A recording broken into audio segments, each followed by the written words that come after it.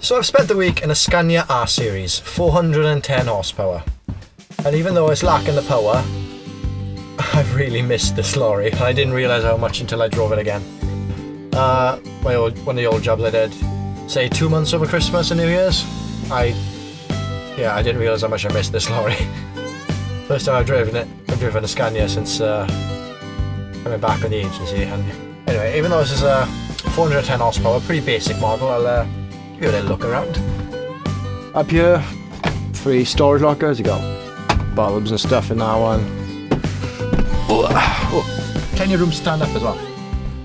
Although this one has a uh, manual sunroof, which eh, I don't really, I don't really open the sunroof anyway, so it doesn't affect me. But yeah, like a nice big one here with improvised number plate. Slightly smaller one. There's enough room in it anyway. Uh, top bank, reading light, storage here and storage over there as well. Uh, top bank, but for some reason this does not have a ladder. Uh, your bottom bank with a reading light over there as well, and over there. Uh, passenger seat folds up. Can unclip the seatbelt there as well. Uh, also folds down, makes another little uh, table. And the bottom bunk can actually come out of it, so it gives you a bit more bedroom. Although to be fair, I'm only a small guy, so uh, the pushed in bunk plenty enough for me. Also, passenger side, click that. Another little table thingy. You have two cup holders down here. Uh, 24 volt hella socket and 12 volt normal cigarette. Sun visors on this one, they're just pretty standard. Nothing much to yell about. You got your tachograph. This is the Stoneridge version, which is the one that counts down from four and a half rather than counts up. This switch, if any of you are wondering, automatic download of your digital tachograph. Even though it's in the form of a switch, the driver never needs to touch it. Because it's all done by uh, by the employer. I think you have to subscribe to a subscription with Scania to actually use it, but it seems to become standard in these models now. Down here, got a little shelf thing. Little thing in there for bridge tag, keys, pens, whatever. Can't really hold much in there. And you've got a drawer here, keep your paperwork, gubbins, whatever. Bit of uh, toilet paper, clean windows. Uh, a cup holder, a little storage cubby down there. Pretty simple. Uh, more storage by here, obviously. Uh, radio. This is uh, it's got a Scania logo on the thing, so I'm not sure if it's came with a unit, but I think that's third party. Alright. Anyway, radio. That'll be there. It's not. It's not much different from the standard one I'm used to, anyway. I think in the bigger models, this little square here is uh, there's an auxiliary port there. So, but this one isn't. put it there. So, have it there anyway. Various switches, lane departure, heated windows, collision warning, night lights, reading light, obviously interior lights, and that's when you open the door or turn them all off, off altogether. Standard climate controls, aircon recirculation night heater. With the uh, the slightly higher end models, all this is a digital display, but obviously because they've lowered the dash, they've just put standard little knobs in there. Alright, you're gonna have to trust me, but behind there there's a little valve for an air gun. There another little bit of storage, another cigarette port down here. Traction control, um, mid-lift raise, weight transfer, and the little switch, hill hold. And this is like the uh, Scania's, I don't know what they call it, but uh, notice which way the cab's facing, it's facing that way. So that would be the rear fog lights and that is the uh, spotlight on the back on the catwalk. If it had uh, front fog lights, it'd be there. Then there's like front spotlights in the bumper as well. And then if you got if you got spotlights on the roof as well, and that's where that's for. Then just change the clock there. Uh, over here, reverse beeper, cruise control. Don't know why that's ever off, but there we are. So adjust your lights, hazards, lights, blah blah. DPF filter, so you don't need it now. Uh, exhaust brake while you press the foot brake. The uh, level reset, alternate level, and then just up and down for the suspension. I really like the suspension controls in these Scanias. They, it's just there, it's simple, you don't have to fiddle with the remote.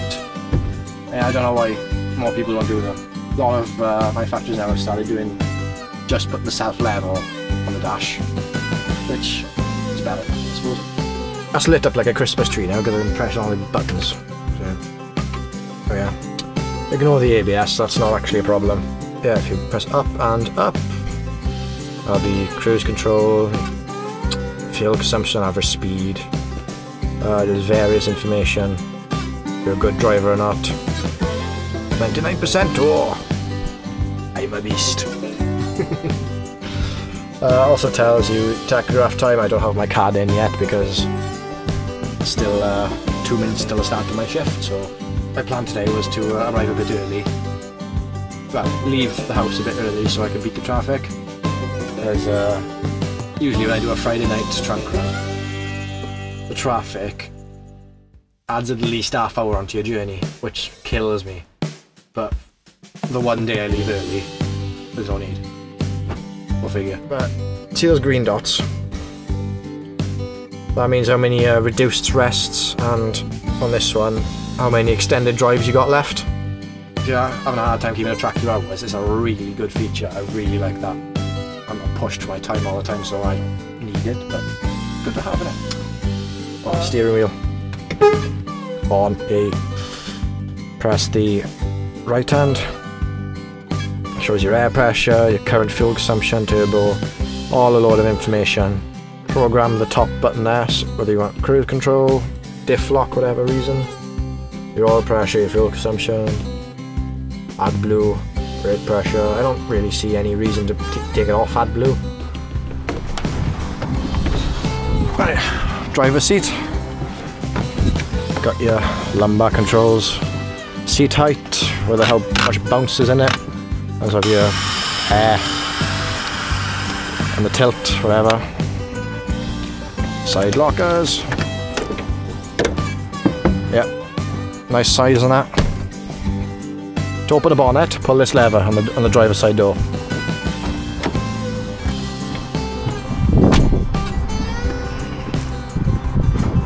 And lift the bonnet. Yep, it's locked in. You don't need to pull the thing for this bottom, which you can use as a step to uh, clean the windows. Uh, so in the back end here, this is how you think. Just pull that, no switches or nothing. Uh, Anderson lead, Susie's, you get the idea. Pretty standard, nothing too fancy. Yeah, pretty much it. Yeah, really like these. Uh, really like these Scanias, even though this one is uh, slightly underpowered for the weight it can pull. But this job, trunk run for a courier, the mid lift doesn't even drop tall. There's just there's no need for it. So I think the maximum weight payload that ever really gets put on, they say, is roughly around eight tons, which is nothing. I mean, weight wise, weight wise, you can do this work in a rigid. Just so it's just volume basically. I know this has not been the uh, the new Scania. Old R series now. Even though this is a 65 plate, so it's only ah, that's only about a year and a half old, is it? Oh, the 67 plates are out next week. Time flies, doesn't it? Anyway, I'm gonna put everything back that I've just messed up in doing this video, and I gotta move on. So, yeah. Once again, remember to like, comment, subscribe. Go on then. In a bit.